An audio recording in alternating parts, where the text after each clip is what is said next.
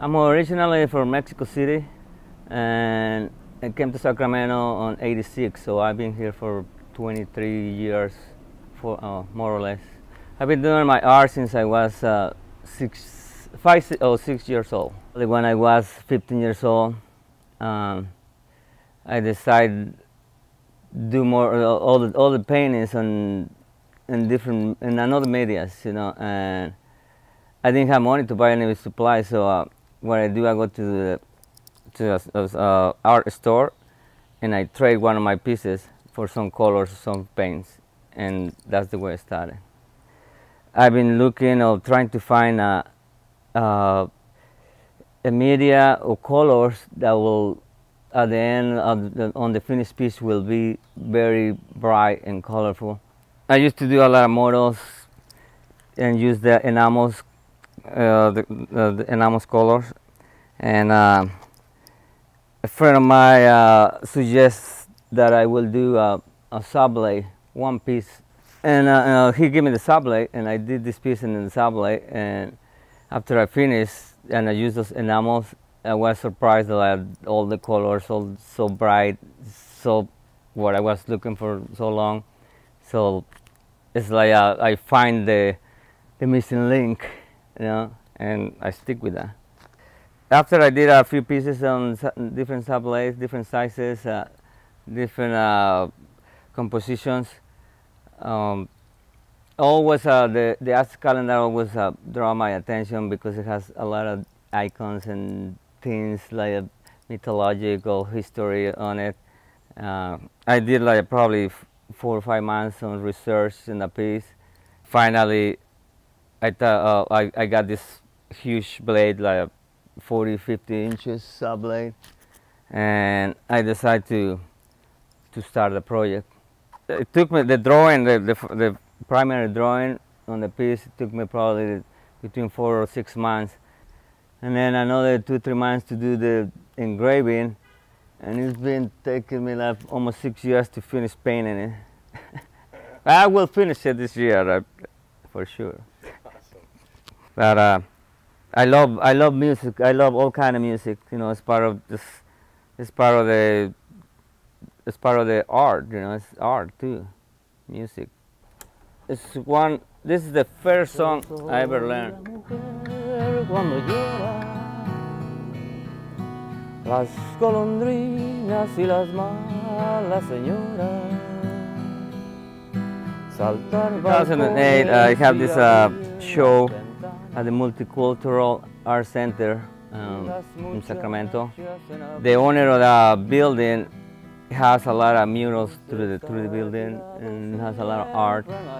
So he wanted to do a mural in one of the walls representing the, the Latino culture. The piece that he wanted me to draw it was the Azteca And at the beginning, I, was, I told, yeah, I can do whatever you want because it, uh, it didn't it didn't dazzle me at the moment. Until like two three hours later when I, I was thinking about it like oh what I get into the painting and uh, the painting and and and getting uh, that piece prepared it took me a month. One month exactly. At the beginning I didn't think I would finish it but you know when I set my mind to do something I no matter what I will I will do it I was happy and surprised that I that I came out so spectacular.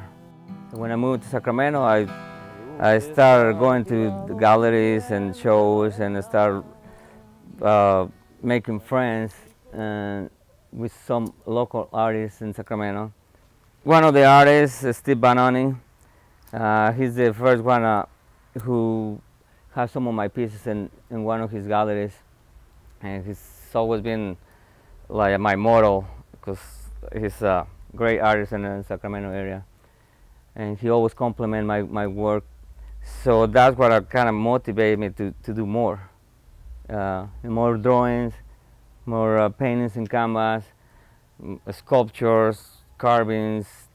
Uh, like I said, I can use any type of media and, and transfer, uh, transform it to, to, to do something, you know. I, I, sometimes uh, the, the piece is already there or the art is already there.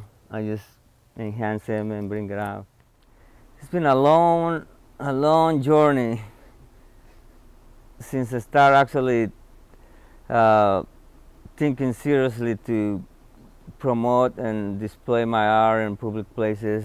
But yes, I'm I'm looking to do more more of those commissions so that my art will be on, in public places so everybody can see it. The way the uh, art is in Sacramento is all over the place. So, you know, I want to have a, a few more pieces up there.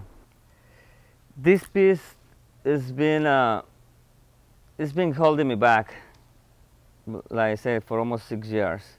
It's, just, it's, it's something I have inside me, like I want to finish it, but uh, I don't want to finish it uh, I don't know. I, I do want to finish it because I, I said the satisfaction of me having a complete piece.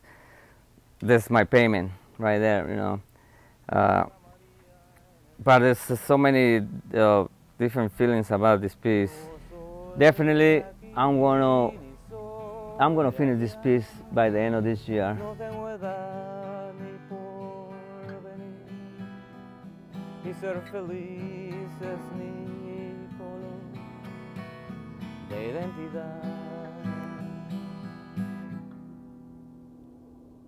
There you go.